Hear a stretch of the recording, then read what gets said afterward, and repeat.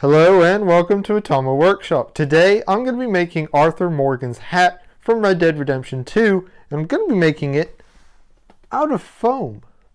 To start the hat I needed a template but as it turned out I didn't have to go looking for long as I happened to have this Kamui cosplay cowboy hat template in my folder of templates and patterns that I figured would work great. Although this wasn't a perfect fit for Arthur's hat it was a good enough start to get me going. With this in mind, before marking out anything on the foam, I decided to make a little change to the pattern. Originally it called for four quadrants to make up the brim of the hat, however it appeared to me that I could make it into two pieces and reduce the overall amount of seams, so I taped together the two side pieces of the brim pattern. At the time, I thought because of the angle of the front and back joints, I would not be able to make it into one whole piece, but I have since learned I could probably have got away with it and had zero seams on the brim. With that change made, I marked out my template on some 2mm Polyprops CF150 foam, which was also a change from the original Kamui designed pieces. I chose this more rigid CF150 foam because originally this pattern called for 5mm, but while researching this project, I discovered that a cowboy hat traditionally uses a 2 to 3mm leather, and so I wanted to try and get it a little closer to that. In theory, this thinner foam would sacrifice a lot of rigidity, and I had no idea if this was going to work, so I was super nervous the whole time I was making this. If it were to go wrong, I could always have gone back to 5mm and rounded over the edge to make it look thinner than it was. Once I had all my pieces cut, it was time for the glue up. As usual for a foam build, I used contact cement. This works by spreading the glue on the two pieces you want to have join and then leaving it to set up for 5 to 10 minutes. Basically, you want the glue to feel tacky but not wet. And then you bring the two pieces together and it should be an instant bond. I joined up the brim first, then the crown, then the teardrop shape that caps off the crown. I then pushed the teardrop inward to create the indent in the top. Then I had to join the crown to the brim, but to make sure the two parts met up well, I put a bevel on the bottom edge of the crown and the inside edge of the brim using my rotary tool and a sanding bit. This worked really well, but I did end up with a lot of glue sticking out as it was really difficult to just get it on that thin edge.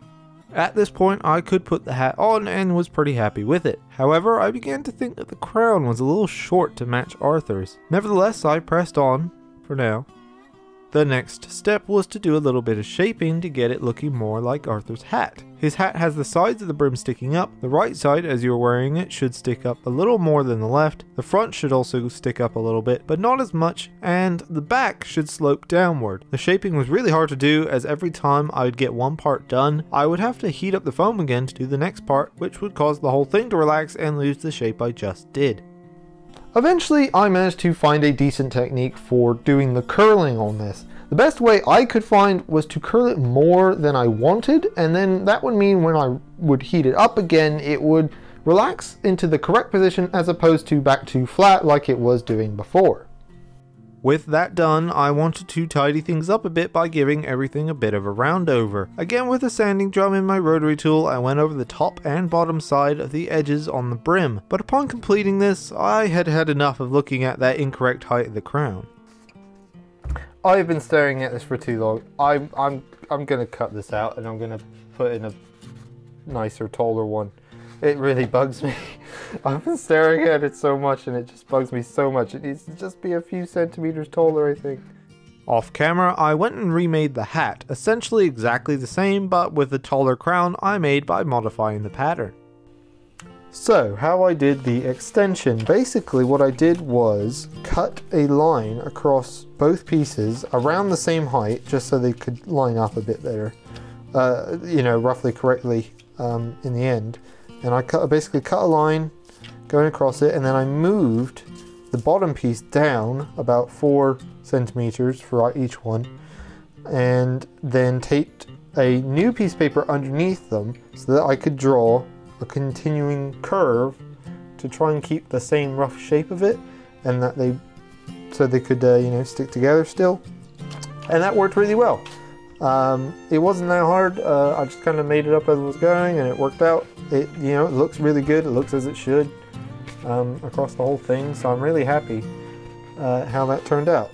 With my newly made crown in hand, I continued where I left off. Arthur Morgan's hat is incredibly beat up and so I wanted to add a lot of textures to it to make it feel more used. The first of these textures I again used my heat gun for and I warmed up the foam to then press in some foil. This leaves a lot of little indentations on the surface and thanks to the foil being so pliable, each time you press it in it's a little different so it looks pretty random. If I had thought about this ahead of time I actually could have done this while I was shaping and saved a bit of time, so if you do this, keep that in mind. As another bit of texturing, I also used my rotary tool with that sanding bit again in order to add damage. To start, I added in the gouges and spots I could see in photos of Arthur. For instance, there was a large gouge going right across the front and a couple of deep grooves near that. I also then held my rotary tool very loosely and just let it swing in and hit the hat randomly to add random shallow lines and gouges. This looks dramatic at this point but as you'll see later on, it mostly gets covered and in the end looks like some light damage from everyday use. Just be careful not to overdo it if you make one. With that done, the hat was ready to have the final layer of texture, as well as sealing the phone to be ready for paint. To achieve this, I used Mod Podge, which is the same way I sealed my Makoto Yuki sword. I found it worked very well for that, so I wanted to use it again. Mod Podge thickens up as you are brushing it on and as a result is generally very hard to avoid brushstrokes with. But in this instance I used that to my advantage. By stippling on the Mod Podge with a sponge brush I was able to create small pips on the surface to give a little more of a leather-like texture. In the end, I stippled on two coats of Mod Podge to get a good thick layer. As a bonus, this also stiffened up the foam a lot and made it hold its shape a lot better, so my 2mm foam experiment worked out finish off the Mod Podge process, I also bent and squished the foam around a lot. As Mod Podge isn't particularly flexible, this generated cracks across the whole surface just like you would see on really old worn leather. This again looks very dramatic, but improves after a bit of paint. Speaking of paint, the hat was now ready for a base coat. For this, I used some Polyprops Hex acrylic paint in a glossy black, which may have been a mistake, as worn leather shouldn't be very shiny. In future, I would use satin or matte black. I brushed this paint on with a mop brush and it covered very well. I really like these Hex acrylic paints for this sort of job, a little goes a long way.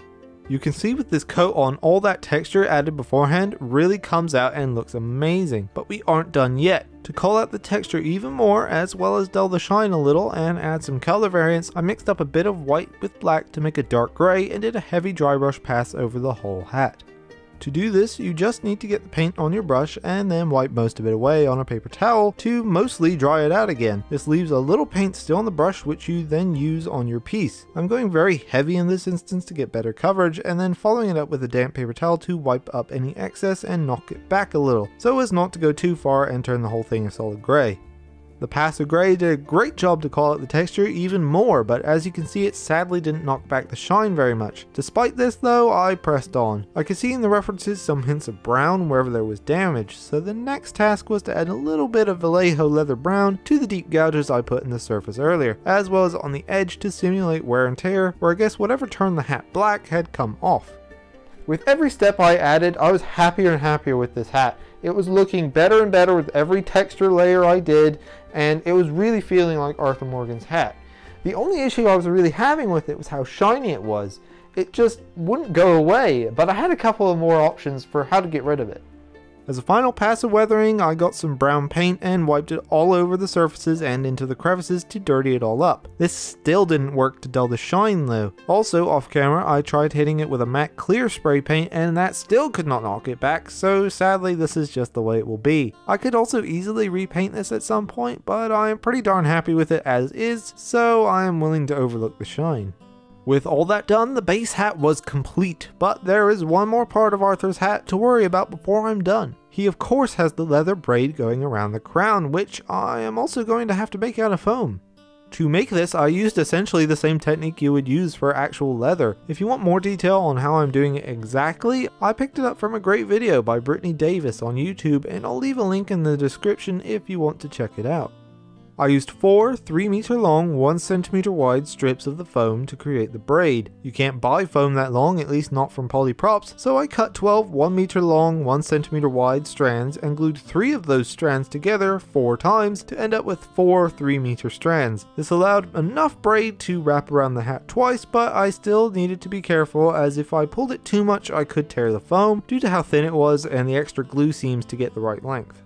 Making this braid took me almost an hour, but I think the results were worth it. I think I could have saved a little bit of time as the braid ended up a bit too long and I had to cut it down, but aside from that, the only hiccup I had was right at the end. I'm not very good at tying knots and despite looking up a guide, I wasn't confident it would stay, so I dabbed on a little bit of super glue into the knot to really lock it into place. I also wrapped and glued one of the four strands around the knot as Arthur's only shows three on the back anyway. Once I had this ready, I wrapped it around the hat to double check the fit and create the ring that retains all this. I made the ring by cutting off a section of the extra length of braid from earlier and glued it end to end. I then slid it on and glued it to the braid on the hat, leaving me with this.